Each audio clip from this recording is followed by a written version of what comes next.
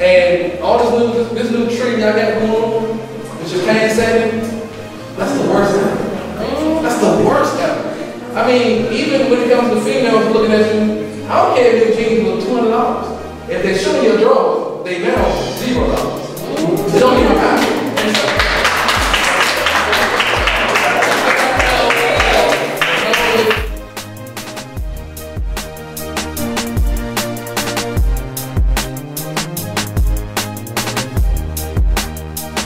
But if you don't have a plan. So, what I cannot do today, I can't do it for anybody in this room. Can't give you a desire to succeed. Nobody can. Your mother can't give it to you. Father, well, never mind, he's absent. I understand that situation.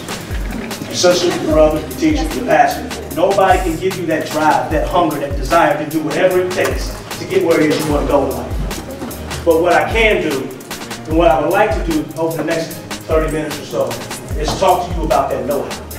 Help you create a plan to have the life that you would like to live. In other words, see things that work for other people and learn how to say, well, I can't do it like him or I can't do it like her, but I can do this on my level.